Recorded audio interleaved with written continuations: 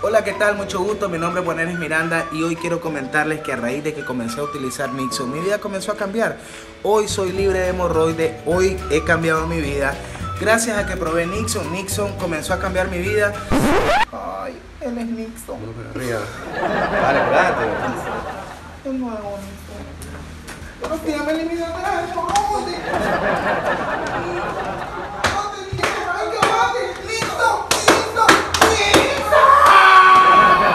Nixon te cambia la vida. Es un medicamento, no exceder su consumo, no dejar al alcance de los niños. Lea indicaciones y contraindicaciones en el empaque del producto. Si los síntomas persisten por más de tres días, consulte a su médico.